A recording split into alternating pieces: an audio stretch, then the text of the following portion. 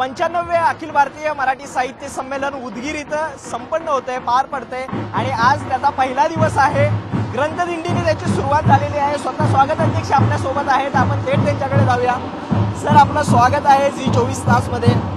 एक सारस्वतांचा मेळा या ठिकाणी भरतोय. शारदेची पूजन या ठिकाणी होत आहे कसं पाहताय तुम्ही आणि केवढी मोठी जबाबदारी आहे सध्या स्वागत अध्यक्ष म्हणून? पंच्याण्णव्या अखिल भारतीय मराठी साहित्य संमेलन आजपासून ते चोवीस तारखेपर्यंत या उदगीर नगरीमध्ये होतोय.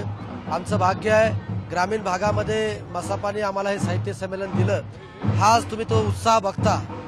खूप चांगल्या पद्धतीनं आजची ग्रंथदिंडी आम्ही सकाळी साडेसात वाजल्यापासूनच हे सगळं उदगीर शहर आणि लातूर जिल्हा जसं सणामध्ये नटतं तसं नटलेलं हे शहर आहे. आणि आता ग्रंथदिंडीची सुरुवात त्या ठिकाणी सुरुवात होणार आहे. साडे दहा वाजता आदरणीय पवार साहेबांच्या शुभ असते त्याचं उद्घाटन त्या ठिकाणी होईल. अनेक परिसंवाद अनेक कवी संमेलन अनेक कवी कट्टा सीमा भागातले प्रश्न या सर्व संमेलनामधून त्या ठिकाणी मार्गी लागण्याची शक्यता आहे.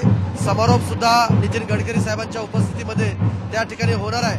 म्हणून मी आपल्या माध्यमातून लातूर जिल्ह्यातील महाराष्ट्रातील जनतेला विनंती करतो की बावीस ते चोवीस तारखेपर्यंत हे संमेलन या ठिकाणी होत आहे.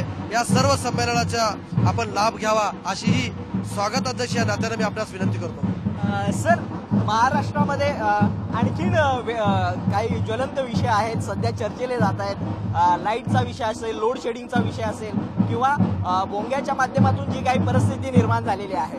प्रश्न याच्यासाठी विचारतोय कारण साहित्य जो आहे तो आपल्या लेखणीतून समाजाचं चित्रण जे आहे तो करत असतो. आपण साहित्यिकांकडून या संमेलनातून काय अपेक्षा करतो? नाही तर अनेक परिसंवाद अनेक व्याख्यानं अनेक वेगवेगळ्या विषयावरती आज खास करून चौऱ्याण्णव साहित्य संमेलनामध्ये झालं जे झालं नाही तो पर्यावरण विषय असेल बालकुमारचं साहित्य संमेलन असेल ह्या विषयावरती ह्या साहित्य संमेलनामध्ये विशेष त्या ठिकाणी चर्चा होणार आहे. आणि बघतायत तुम्ही वातावरणातील बदलामुळे अनेक गोष्टी वेगवेगळ्या घडतायत. पंचमहाभूताचं संवर्धन करण्यासाठी हे पर्यावरण विषय आम्ही मुद्दा म्हणून या ठिकाणी ठेवलेला आहे.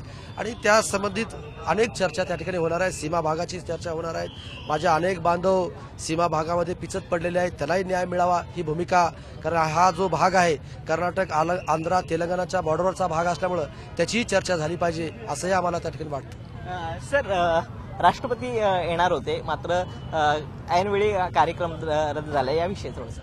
माननीय राष्ट्रपती महोदयांनी समारोपाला येण्याची आम्हाला संमती त्या ठिकाणी दिली होती. आणि महाराष्ट्राचा दौरा त्यांचा कॅन्सल झाला असं आम्हाला रात्री समजलं. पण नितीनजी गडकरी साहेब समारोपाला त्या ठिकाणी येणार आहेत.